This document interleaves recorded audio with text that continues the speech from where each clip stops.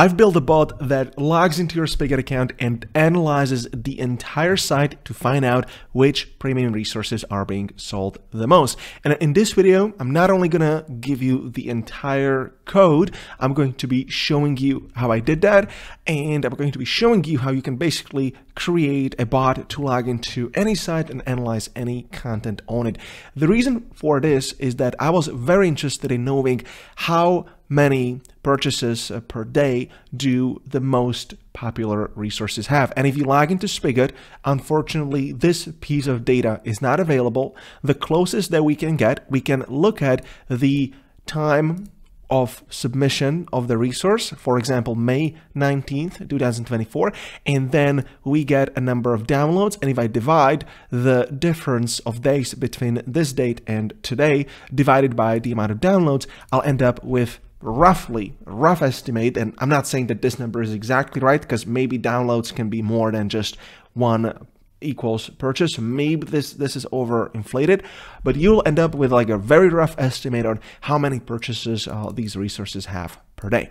By the way guys this is not a new attempt. Maxim the developer behind plugins like Featherboard has actually made a similar scrapper many years ago. However, they, he stopped updating it four years ago. You can still go to his GitHub and you can have a look at how it works. It is way more advanced, but it unfortunately no longer functions. And we're going to be using Eclipse because it is the world's best IDE because it looks the best. I mean, look at the icon design. Guys, this is incredible. It's It's been the same for the last 20 years. Obviously, I'm kidding. Welcome to this video. I'm not going to be coding everything line by line because it would take me about four hours, but I'm going to be walking you through the exact code line by line so that you understand it if you are familiar with coding in Java. Now, this is not a Minecraft plugin. This is a standalone program. It is actually built in Java. It, it is using Maven and it uses Java 21, although it is going to work on Java 8 as well if you need to.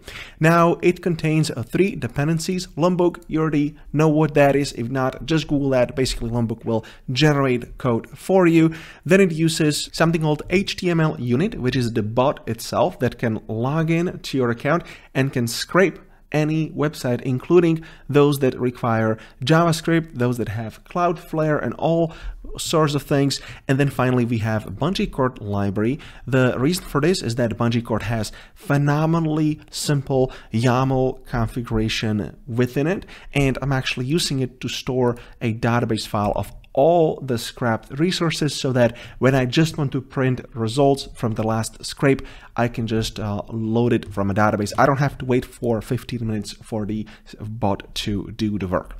And then we have a bunch of compil compilation plugins. I don't have to explain this because this is just the simple stuff to get the jar out. Although I'm never going to do that because we're just going to be running uh, the entire thing within our IntelliJ or Eclipse for that matter.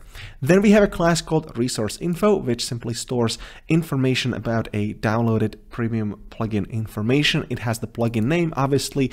It's got the plugin URL. It's got its purchases, although this is not precise because we equate this to the amount of downloads. As I said, it has the submission date as well as a method mathematically calculating downloads per day or should be purchases per day in accordance with the field, even though it's not exactly correct, and then get published days ago method, as well as the two methods that will simply make it very easy to save it into a YAML, as well as load it back. By the way, I do have YAML configuration video on this channel if you need to rehearse your skills. Basically what this will do will turn this class's fields into a simple hash map. And then here you go, here comes the main class. So the main class has a main method as you guessed it, because this is not a Minecraft plugin, this is a stand standalone program, and you can launch the main class if you just launch, if you debug this as a Java application. IntelliJ has a similar setup.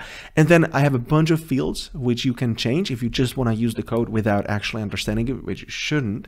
So first thing, it has a start page, it has the end page. So basically, which page right here you want to start parsing at. I want to be starting at the one and I want to be finishing at the last one which is actually 79 but I'm just going to set it to 80 just in case there's more resources approved in the meanwhile.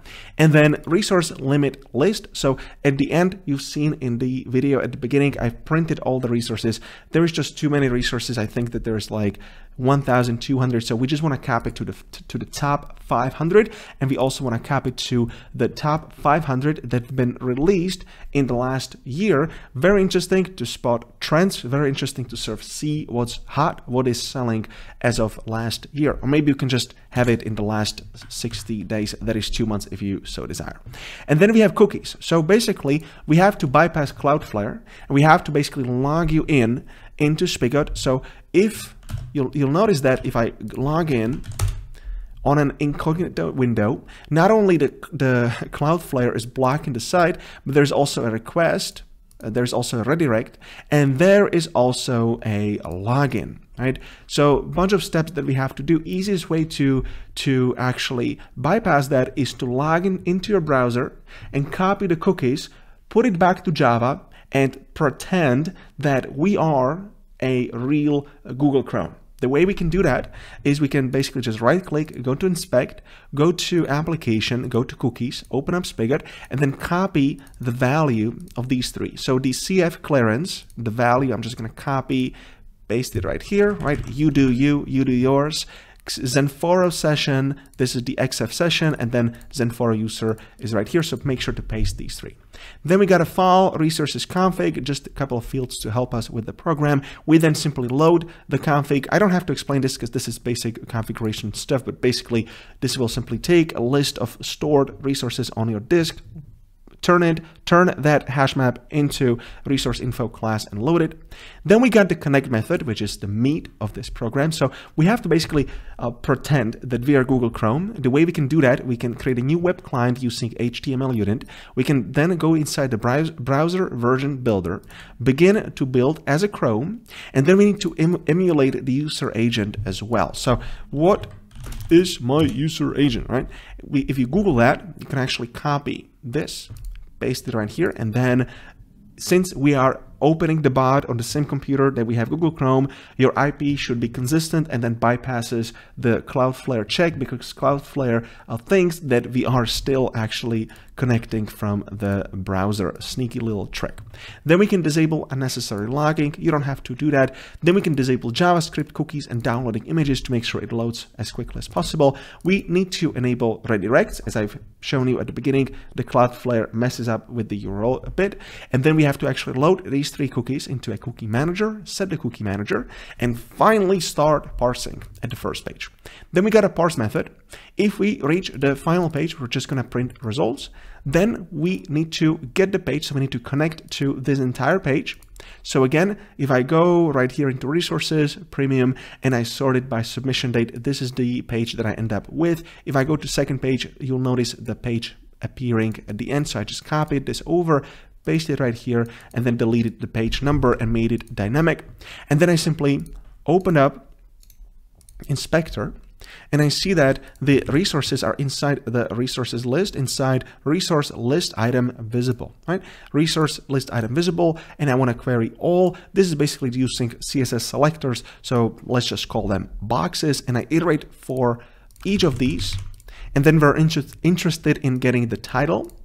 So how do we get the title? We just find the title tag, and inside there's another tag. So I'm just going to get the content of that, so content, and then unfortunately I, I do get I do gotta clean the title because there's a lot of junk on Spigot, so we can delete all the versions, all the Unicode, all the emojis, such as the ones you can see here, so that we end up having just OP daily events. A little bit of a cleanup, you can use ChatGPT for that.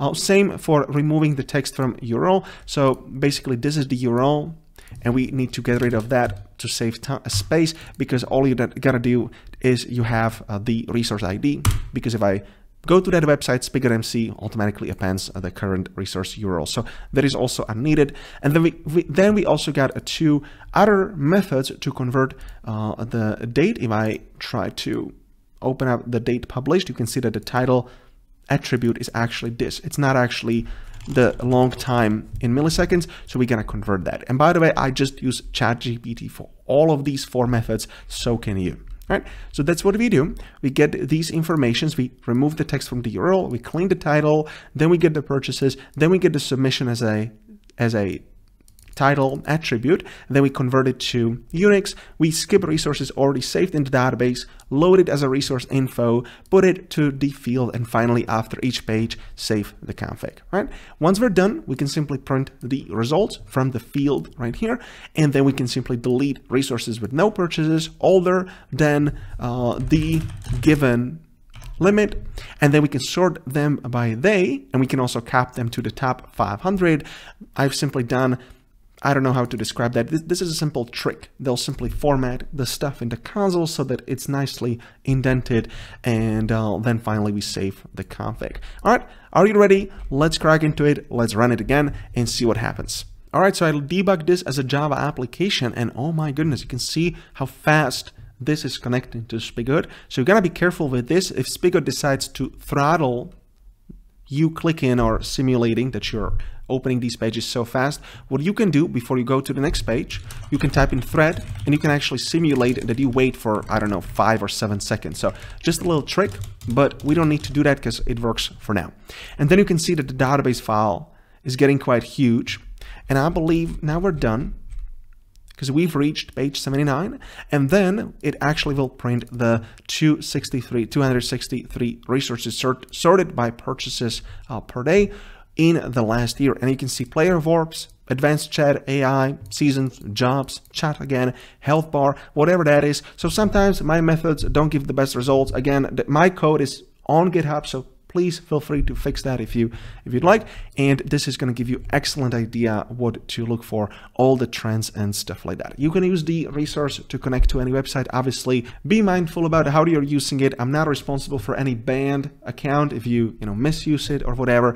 And uh, use it responsibly. The only sort of purpose behind why i did that i literally just wanted to know what plugins are being downloaded in last year because the markets have shifted and i did a survey and i wanted to compare the results from the survey to actual results on Spigot MC to see what is hot, what is selling, because we are actually making a new plugin for you guys that will be out next month. That's it for me for today. I hope that you enjoyed this different video, very different. And if you want to join me on a learning to code, becoming self-sufficient, becoming an hacker, I, guess it's not really hacking, but becoming very, very efficient in Java, join my class called Project Orion. Not only it has all the videos, it also has myself personally joining twice per week on Zoom to help you and give you live coaching that you need to move way faster than you'd ever do on any Udemy course. So I'm going to leave you a link to that course in the video description.